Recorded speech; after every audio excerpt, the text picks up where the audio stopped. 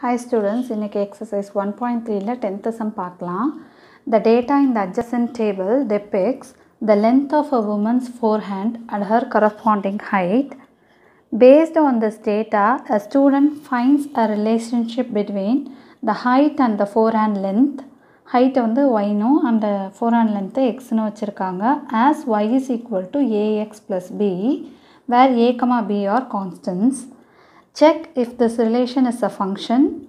Find A and B. And third question, find the height of the woman whose forehand length is 40 centimeter. Find the length of forehand of a woman if her height is 53.3 inches. சரி இப்போ என்ன information இங்கே சொல்லியிருக்காங்க அப்படின்னா ரெண்டு information கொடுத்துருக்காங்க ஒன்று என்னென்னா length of a fore hand okay length of fore ஹேண்டுங்கிறது முன்னங்கை அந்த முன்னங்கையோட நீளம் அதாவது இந்த முட்டி மூட்டு இருக்கும் இல்லையா? கை மூட்டு அதுலேருந்து முன்னாடி கை வரைக்கும். ஸோ அந்த முன்னங்கை வந்து அதோட லென்த்து கொடுத்துருக்காங்க. இன் சென்டிமீட்டர் சென்டிமீட்டரில் கொடுத்துருக்காங்க. Then height height of the woman கொடுத்துருக்காங்க. ஸோ அந்த உமனோட ஹைட் சரியா? ஸோ இது ரெண்டுத்துக்குமான ரிலேஷனை வந்து y equal to a x plus பின்னு கொடுத்துட்டாங்க. இதில் ஹைட்டை வந்து ஒய்னு வச்சுக்கிறோம். And length of the fore ஹேண்டை எக்ஸ்ன்னு வச்சுக்கிறோம்.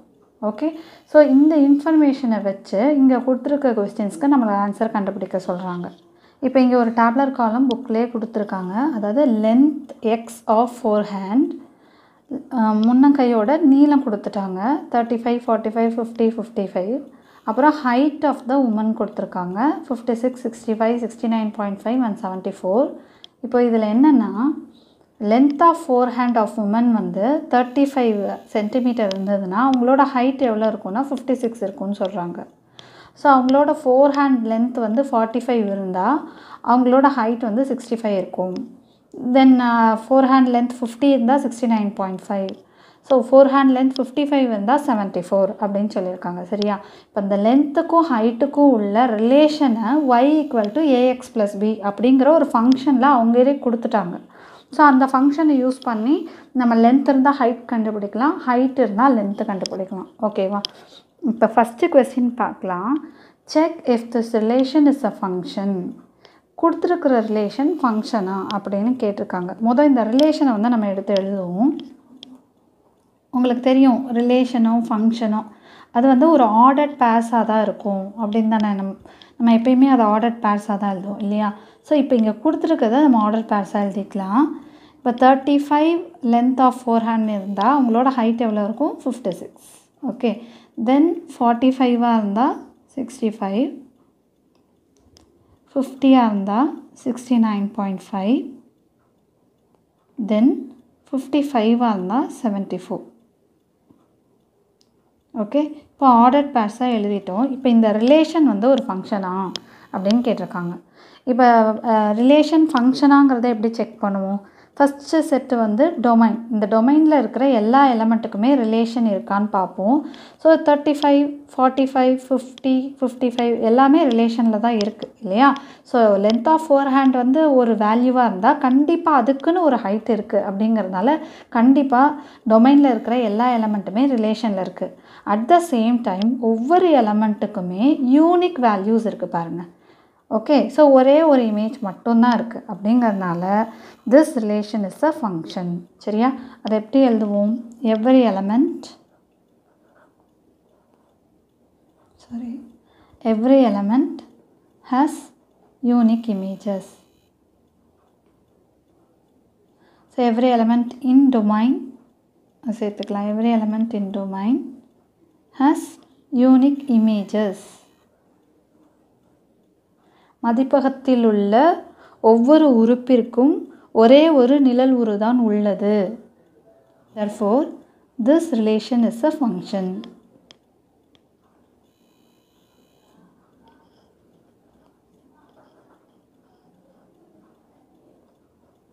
ஓகேவா ஸோ அப்போனா இந்த உறவு வந்து ஒரு சார்பாகும் அப்படின்னு எழுதணும். சரியா? சரி நெக்ஸ்ட்டு நெக்ஸ்ட்டு கொஸ்டின் பாருங்கள் ஃபைண்ட் ஏ அண்ட் பி அப்படின்னு சொல்லியிருக்காங்க. ஸோ இந்த ஏ அண்ட் பி எங்கே இருக்குது அப்படின்னா அவங்க கொடுத்துருக்குற ஃபங்க்ஷனில் தான் இருக்குது பாருங்கள் y equal to a x plus பின்னு ஒரு ஃபங்க்ஷன் கொடுத்துருக்காங்க. அதில் ஏ அண்ட் பி வந்து கான்ஸ்டன்ட்னு சொல்லியிருக்காங்க.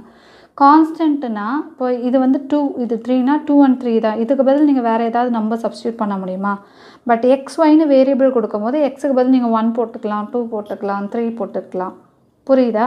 ஸோ ஏபிங்கிறது மாறாது. அது கான்ஸ்டண்ட்டாக ஏவோட பி வேல்யூ ஒன்று இருக்கும் பியோட வேல்யூ ஒன்று இருக்கும் அப்படின்னு சொல்கிறாங்க சரி இப்போது இந்த ரிலேஷன் இப்போ கொடுத்துருக்குற இந்த ஃபங்க்ஷனை வச்சு தான் ஏ அண்ட் பியோட வேல்யூவை நம்ம கண்டுபிடிக்க போகிறோம் ஓகே ஸோ அது எப்படின்னு பார்க்கலாம்.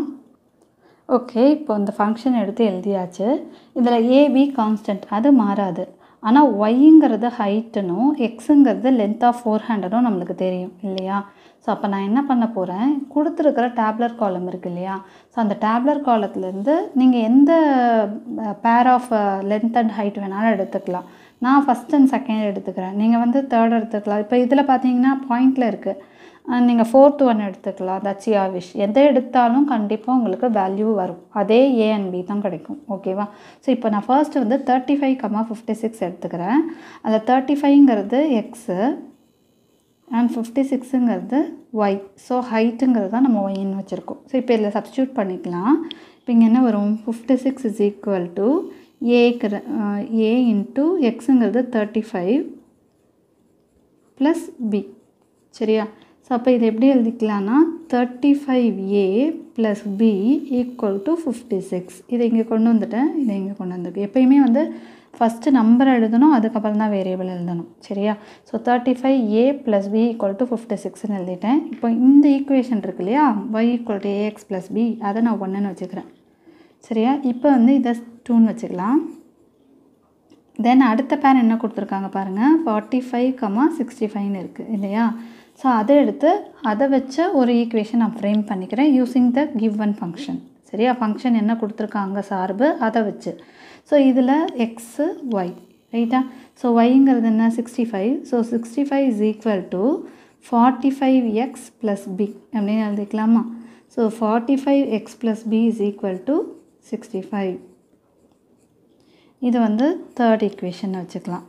இப்போ நம்மளுக்கு எலிமினேஷன் மெத்தட் தெரியும் இல்லையா? அல்ஜிப்ராவில் படிச்சிருப்போம்ல அந்த எலிமினேஷன் மெத்தட் யூஸ் பண்ணி நம்ம ஏ அண்ட் பியோட வேல்யூ கண்டுபிடிச்சிடலாம். சாரி இங்கே வந்து ஏ வரும். நான் எக்ஸன் போட்டேன். ஏ சரி இப்போ இந்த ரெண்டு ஈக்குவேஷனையும் நம்ம சால்வ் பண்ணலாம். இப்போது இங்கேயும் பி இருக்குது இங்கேயும் பி இருக்குது ஒரே வேல்யூ இருக்குது ஸோ சிம்பிளை மட்டும் நம்ம சேஞ்ச் பண்ணோம் அப்படின்னு சொன்னால் பி கேன்சல் ஆகிடும் ஸோ பி கேன்சல் பண்ணிக்கலாம். So forty five minus thirty five ten ten a is equal to then இங்கே ஃபிஃப்டீன் வந்துடும் இல்லையா? So fifteen minus six nine so இல்லைனா sixty five minus fifty six வந்து நைன் வந்துடும் so a is equal to nine by ten இல்லைன்னா any number divided by டென்னோ hundred அப்போ ஒரு ஜீரோ இருந்தால் ஒரு பாயிண்ட் ஒரு நம்பர் தள்ளி பாயிண்ட் வைப்போம் இல்லையா? ஸோ இப்போ இதோட வேல்யூ வந்து ஜீரோ பாயிண்ட் நைன் வச்சுக்கலாம். ஓகே நைன் பை டென் இல்லைன்னா ஜீரோ பாயிண்ட் நைன் இப்போ ஏயோட வேல்யூ கிடச்சிருச்சு இல்லையா? இப்போ பியோட வேல்யூ கண்டுபிடிக்கணும். Second equation or third equation இந்த ரெண்டு ஈக்குவேஷனில் நீங்கள் எது வேணாலும் எடுத்துக்கலாம். நான் இப்போ தேர்ட் ஈக்குவேஷன் எடுத்துக்கிறேன். Forty five a plus b is equal to sixty five இதில் ஏயோட வேல்யூ சப்ஸ்டியூட் பண்ணிக்கிறேன். So forty five into zero point nine plus b is equal to sixty five இப்போ ஃபார்ட்டி ஃபைவை நைனால் மல்டிப்ளை பண்ணோம் அப்படின்னா நைன் ஃபைவ் ஜா ஃபார்ட்டி ஃபைவ் நைன் ஃபோர் ஜார் தேர்ட்டி சிக்ஸ் ப்ளஸ் ஃபோர் ஃபார்ட்டின் வந்துடும் ஸோ ஃபார்ட்டி போ ஃபோர் நாட் ஃபைவ் வரும். இங்கே பாயிண்ட்டுக்கு அப்புறம் ஒரு நம்பர் இருக்கு இல்லையா? அதனால் ஒரு நம்பர் தள்ளி புள்ளி வச்சோன்னா so forty point five plus B is equal to sixty ஃபைவ்னு வரும். Then B is equal to sixty five minus forty point ஃபைவ்னு வரும். இப்போது இது ஞாபகம் வச்சுக்கோங்க எப்போயுமே இது வந்து ஹோல் நம்பராக இருக்குது இது டெசிமலாக இருக்குன்னா இதையும் டெசிமலாக மாற்றுங்க பாயிண்ட் ஜீரோ வச்சு இப்போ பாயிண்ட்டுக்கு அப்புறம் இங்கே ஒரு நம்பர் இருக்குன்னா பாயிண்ட்டுக்கு அப்புறம் ஒரே ஒரு ஜீரோ மட்டும் போடுங்க. அப்போ sixty five point zero minus forty point ஃபைவ்னு வரும். ஓகே ஸோ இது ஃபோர் இது டென் ஆகிடும் so ten minus five five four minus zero four six minus four two twenty four point ஃபைவ்னு வரும். So B is equal to twenty four point five இப்போ ஏயோட value zero point nine and பியோட value twenty four point five சரியா?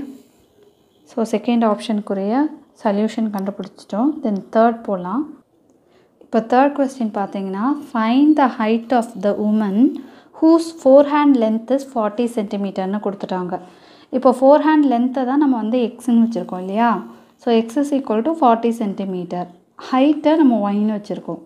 Okay so இதுவுமே அவங்க கொடுத்துருக்குற ஃபங்க்ஷன்லேருந்து தான் நம்ம கண்டுபிடிக்க முடியும். That is Y is equal to A X plus B சரியா? இதில் ஒய் தான் கண்டுபிடிக்கணும் இல்லையா? தென் ஏயோட வேல்யூ வந்து ஜீரோ பாயிண்ட் நைன் அண்ட் பியோட வேல்யூ டுவெண்ட்டி ஃபோர் பாயிண்ட் ஃபைவ்னு நம்ம கண்டுபிடிச்சி வச்சுருக்கோம் இல்லையா? ஸோ அதை வந்து எல்லாமே இந்த ஈக்குவேஷனில் சப்ஸ்டியூட் பண்ணோம்னா நம்மளுக்கு ஒய்யோட வேல்யூ கிடச்சிரும் ஸோ ஏங்கிறது ஜீரோ பாயிண்ட் நைன் இன்ட்டு எக்ஸுங்கிறது ஃபார்ட்டி ப்ளஸ் பியோட value twenty four point five okay so இங்கே ஃபார்ட்டி இன்ட்டு நைன் போடுங்க. போட்டிங்கன்னா உங்களுக்கு வந்து த்ரீ சிக்ஸ்டி வரும். ஸோ பாயிண்ட்டுக்கு அப்புறம் ஒரு நம்பர் தள்ளி புள்ளி வைக்கிறப்ப அது தேர்ட் தேர்ட்டி சிக்ஸ் பாயிண்ட் ஜீரோன்னு வந்துடும் ஜீரோக்கு வேல்யூ கிடையாது so plus twenty four point five so இதை ஆட் பண்ணும் போது thirty six plus twenty four point five okay so five zero six sixty point ஃபைவ்னு வரும் so Y is equal to sixty point five so if the forehand length is forty centimetre then the height of the women is sixty point five inches